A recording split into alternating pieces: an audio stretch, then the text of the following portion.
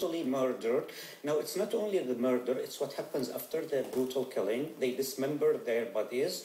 Uh, the, uh, uh, even a family, a family kin of mine, a relation to me, okay, Uh, uh, uh, he was not only shot, but he was divided into three pieces and his core was sent to his wife. Three pieces.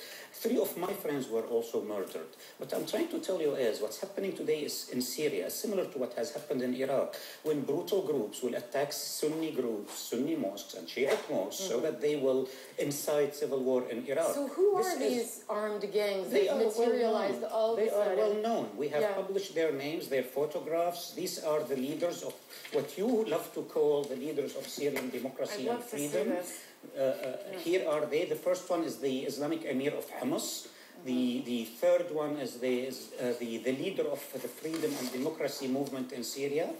Ayman al-Zawahiri, uh, the leader of Al Qaeda, three, way, three days ago, gave a speech in, he, in which he emphasized two things. He was bragging about September 11, and he was asking the mujahideen of the Islamic world to go and join their Syrian mujahideen brothers to fight against so the Syrian you are regime. saying you are saying that what's happening in Syria is some fundamentalist, Islamist, extremist, armed movement that is trying to destabilize if the you country. are talking about the armed groups, absolutely. Yeah. If you are talking about peaceful protesters, as of day one, and let me repeat this, and I will continue repeating this till the Western media reaches a tipping point that it starts understanding this. We do believe that their demands are legitimate, and we are addressing their demands in a comprehensive way. Here is my challenge to those guys who are criticizing us. Syria is implementing right now, as we speak, unprecedented political reforms. By the time, I, I, I believe by February next year, uh, uh, the, the, the, political scene in Syria will be unparalleled across the Arab world. And here is a challenge to the United States of America.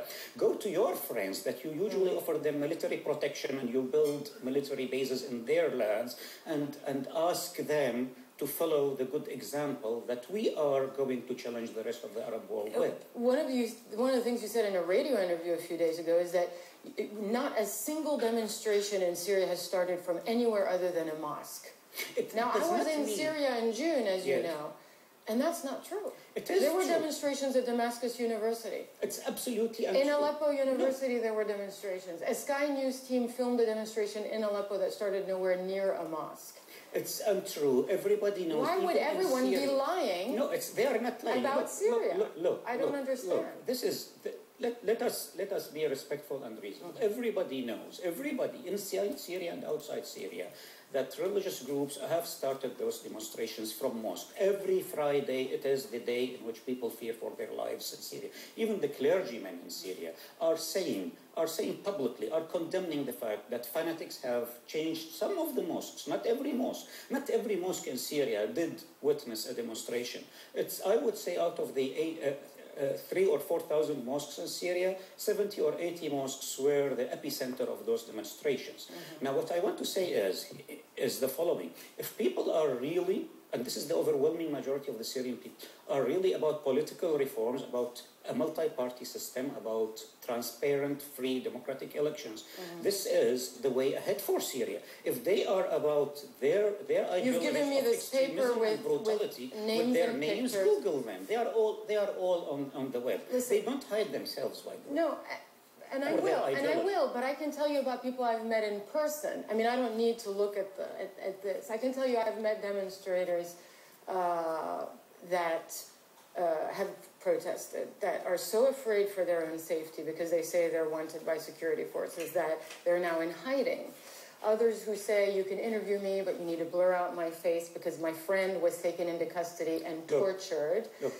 So, are you saying if that you these are, people are all no, fantasizing? what I am saying is the following: mm-hmm. If you are in opposition in Syria and you are about political opposition, about opposing every policy of the Syrian government, mm-hmm. you are okay. You are welcome.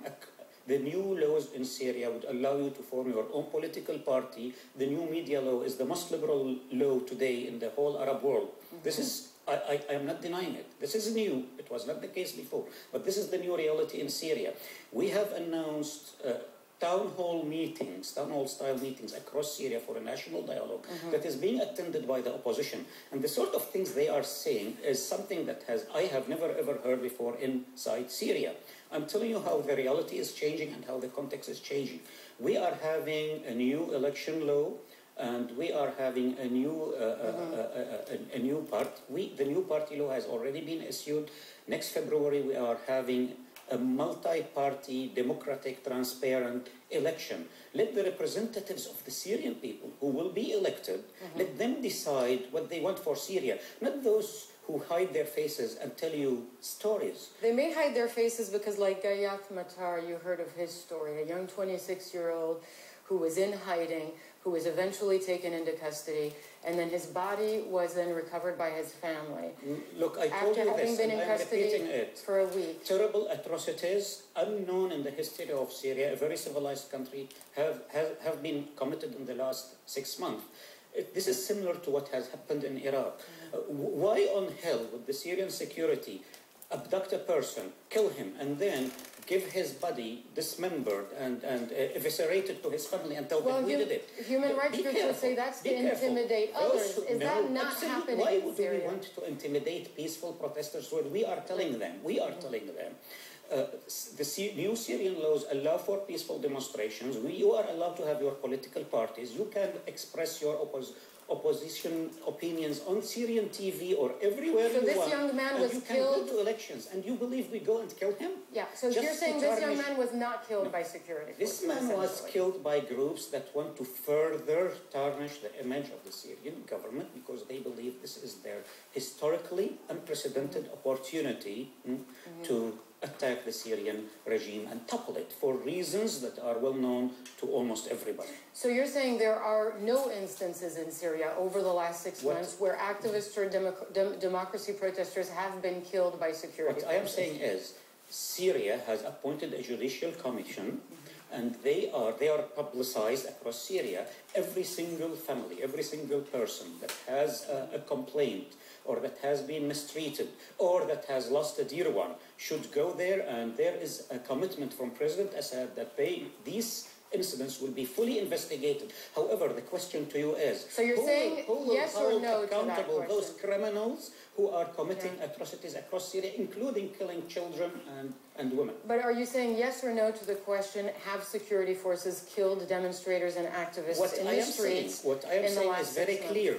The, the government of Syria does not approve of this, and we, everyone who has, who has uh, wrongfully committed a crime will be held accountable. The challenge is not those guys, because those guys can be brought to court. The mm-hmm. challenge is how can we address those fanatic Islamic groups, the same groups that are, are, are bragging about September 11 and are calling the Mujahideen of the Islamic world to come to Syria. Imad Moustapha there with the narrative from the Syrian government from the beginning. You saw him give me a folder, by the way. I have it here with me with photographs of people he says are in charge of fomenting the dissent, uh, these fundamental Islamists, but pro-democracy activists, including those I've spoken to in Syria, including those who've fled Syria and are now abroad, tell me that is absolutely untrue. It's not something I witnessed either among those who I uh, spoke to inside of Syria. Uh, there was no uh, uh, extreme uh, fundamentalist demonstrations starting from mosques, not the ones I was able to witness, and not the demonstrators and activists I was able to speak to inside of the country. And by the way, we never got an answer as to why or not why Syria uh, CNN was not allowed back into Syria. We got that week-long visa in June, but since have not been able to go back in, especially to those flashpoint cities, Hama and Homs. Even inside of Syria, we were not allowed to go.